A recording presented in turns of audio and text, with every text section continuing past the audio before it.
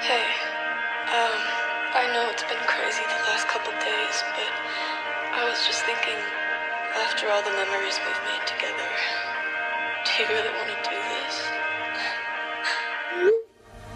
I know you're afraid to love. I promise I understand.